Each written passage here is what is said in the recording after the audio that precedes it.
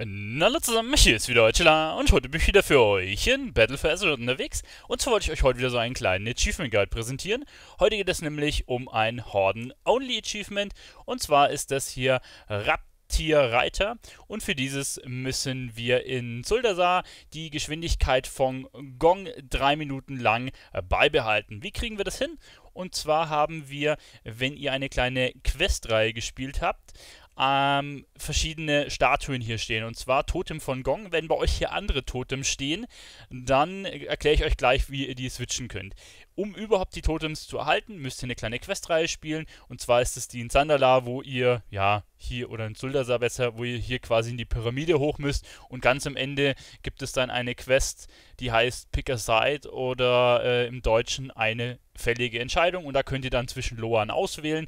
Und ja, ihr müsst quasi für dieses Achievement ähm, diesen Gong hier quasi auswählen. Ihr könnt es aber nachträglich auch noch ändern. Und zwar gibt es hier oben eine Frau, und zwar bei den Koordinaten 50, 35. Und wenn ihr die anquatscht, könnt ihr quasi hier die Totems ändern. Ich kann es jetzt hier zum Beispiel zu Parkour ändern. Dann verschwinden die Dings-Totems und ich habe jetzt hier in, in, hinten so ein Parkour-Totem, ja. Und ihr könnt es auch jederzeit wieder zurückwechseln, ja. Gut, so viel dazu. Prinzipiell ist das Achievement so ausgelegt, dass ihr euch so einen Totem sucht, ja, ähm, dann kriegt ihr einen Geschwindigkeitsbuff und ihr sucht euch das nächste Totem und äh, kriegt den nächsten Geschwindigkeitsbuff. Ihr könnt es aber auch in der einfachen Variante machen, dass ihr euch einfach hier ein Totem sucht, und immer wieder dasselbe reinlauft. Ja? Ähm, wenn ihr jetzt nochmal reinlauft, seht ihr, mein Buff wird nicht verlängert. Ihr müsst warten, dass der unter 20 Sekunden ist und dann könnt ihr ihn quasi refreshen. Ja, jetzt ist er 19, jetzt kriege ich wieder den Buff. Ja, also das könnt ihr am einen Totem machen.